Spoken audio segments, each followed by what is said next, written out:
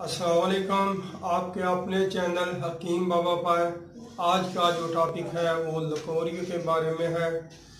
इसमें हम आपको इसकी रेमेडी इसके जो अज्जा हैं, वो बताएँगे और इसकी तरकीब, तैयारी की बताएँगे और तरीका इस्तेमाल बताएँगे। ये जो मर्ज़ है, आजकल बहुत ज़्यादा और आम पाया जा रहा है औरतों में, लड़कियों में। ये इंतहाई कमज़ोर कर देता है, औरतों को, नस्वानी हुसन को तबाह कर देता है। कमर की दर्द, शदीद, हड्डियाँ कमज़ोर, जहन कमज़ोर। मुक्सर के ये इंतहाई सेहत के लिए नुकसानदेह है। इसके लिए हम आपको एक मुफीद रेमेडी बयान करते हैं। रेमेडी के अज्जा बताते हैं आपको।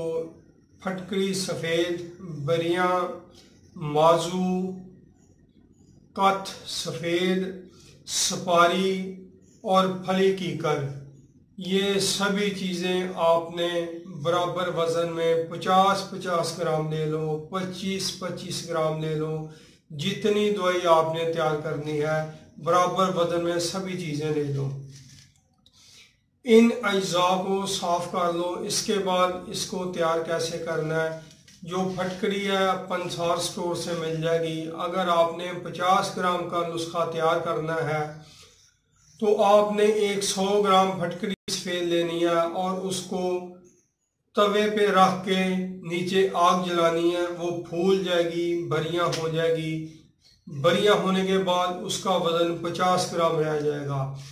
तमाम चीज़ें लेकर ग्राइंड करके अच्छी तरह बिल्कुल नहायत उमदा बरीक पाउडर बना लो और एक शीशे के जार में महफूज कर लो।